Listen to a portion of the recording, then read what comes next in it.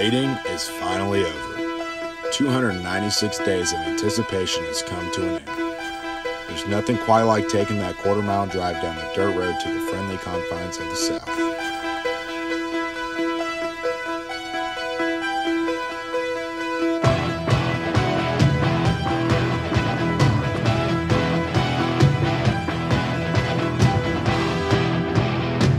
Two months, a backyard pastime turns into something much greater.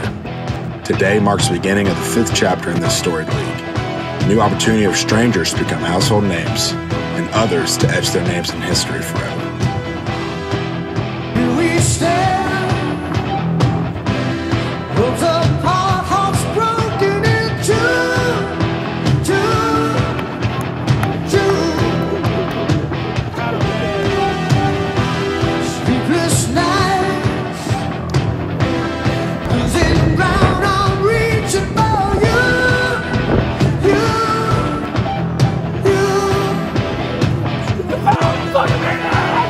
10 teams begin their journey towards the ultimate prize lifting the Commissioner's Trophy.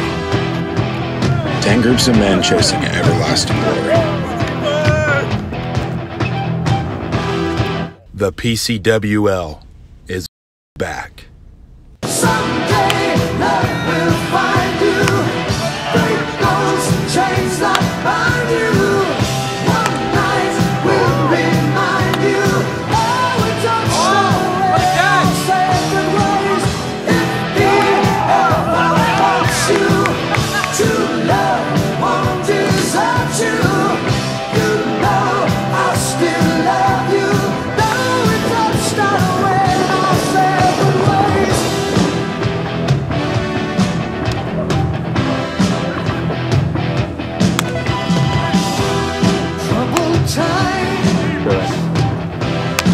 The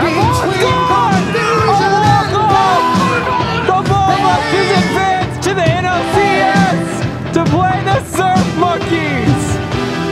Oh